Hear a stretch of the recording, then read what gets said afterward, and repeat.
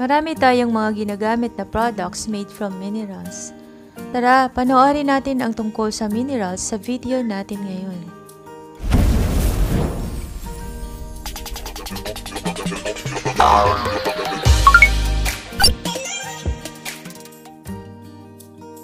Ang mga sumusunod na larawan ay mga objects na pamilyar na sa inyo. Ang una ay ang lapis. Ang lapis or pencil ay may graphite at ginagamit ito sa pagsusulat. Ang halite ay ang mineral found in salt.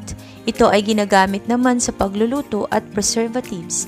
Ang cellphone ay binubuo ng iba't ibang klase ng minerals at ginagamit natin for communication.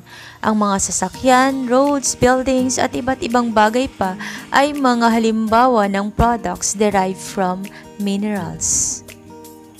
What are minerals? Minerals are the building blocks of rocks. Ang mga mineralogists ay gumagamit ng criteria para ma-determine kung ang material ay classified na mineral or hindi. Narito ang mga characteristics ng minerals. Characteristics of minerals 1. Naturally occurring, a product of Earth's natural processes. 2. Inorganic, it must be a product of Earth's physical processes. Makikita natin na parehong tinutukoy dito sa 1 and 2 ay ang mineral ay dapat product ng Earth's processes. In short, hindi ito man-made o hindi ginawa ng tao. Number 3. Homogeneous solid. Mineral should have definite volume and rigid shape. Ang ibig sabihin nito, ang material ay dapat mayroong identical properties regardless of location along its body at dapat dahil ito ay solid, mayroong definite shape and volume. 4. Definite chemical composition represented by a chemical formula. Ang ibig sabihin nito ay maaaring ang mineral, for example, silver, ay binubuo ng silver atoms at ang diamond naman ay made up of only carbon atoms.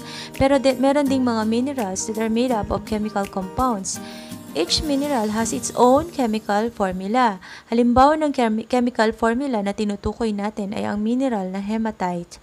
Ang chemical formula nito ay Fe2O3.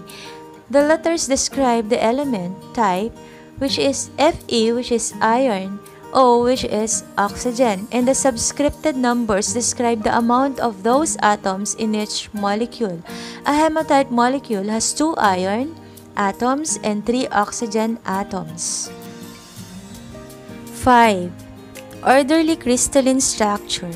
Atoms of minerals are arranged in an orderly and repeating patterns.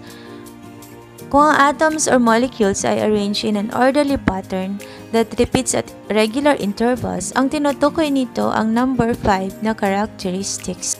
Para ma-identify ang mga minerals, mineralogists observe the following properties – A. Color Ang color ng mineral ay maaring magbago depending on the surface. Ang color ng mineral ay hindi gaano uh, ginagamit para sa pag-identify ng minerals dahil mayroong mga minerals na magkakapareho ng kulay. Streak, color of mineral in powdered form.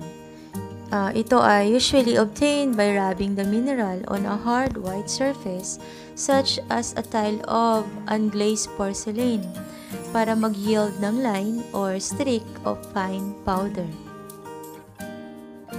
Ang susunod na property ay hardness, mineral's resistance to scratching. Sa most scale of hardness, makikita natin na ang diamond ang pinaka-hardest na material or mineral with, a scale of 10. At ang pinakamababa naman ay ang talc na mayroong scale ng 1. Next ay cleavage. Cleavage is the mineral's resistance to being broken and fractured. Kapag ang isang mineral na mayroong property na ito ay ginamitan ng hammer, ano ang mangyayari sa mineral?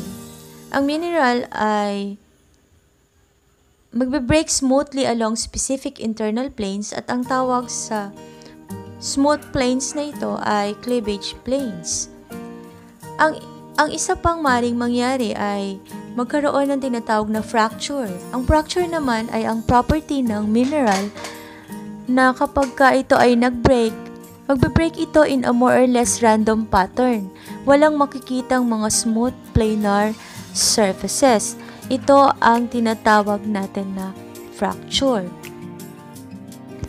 Ang isa pa na property ay ang tinatawag natin na crystalline structure or habit. Crystal habit is the characteristic external shape of an individual crystal or crystal group. A single crystal's habit is a description of its general shape. Luster. How light is reflected off a surface. Pag sinabi nating luster, ito ay ang manner kung saan ang mineral ay nagre-reflect ng light o kumikinang. Meron din tayong tinatawag na tenacity, describes the mineral's reaction to stress. Ang mga ito ay tinatawag na brittleness. A minerals turns into a powder. So kapag ka nag-turn into powder, ang isang mineral, ito ay mayroong property na brittleness. Another is malleability. A mineral can be flattened by pounding with a hammer. Next ay ductility. A mineral can be stretched into wire. Flexible but inelastic, minerals are bent but they remain in the new position. Pwede rin namang flexible and elastic, minerals are bent and they bring back to their original position. At ang uli ay sectility ang ability of minerals to be sliced by a knife.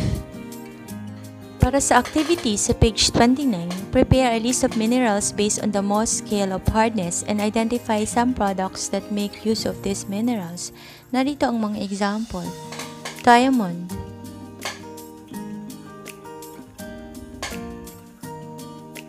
Corundum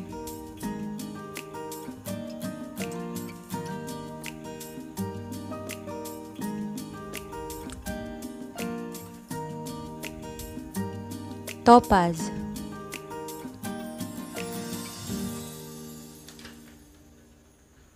Para naman sa what I can do, list some of the uses of minerals around us. Narito ang examples.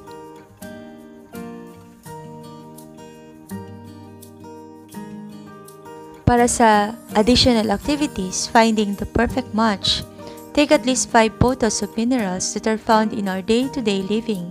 Identify the said minerals and state their unique characteristics and significance. Narito ang example.